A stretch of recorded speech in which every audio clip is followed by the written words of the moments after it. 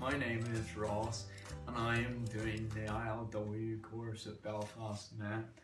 Uh, before that I was at Cedar Lodge and Lynn helped me uh, with the moving process.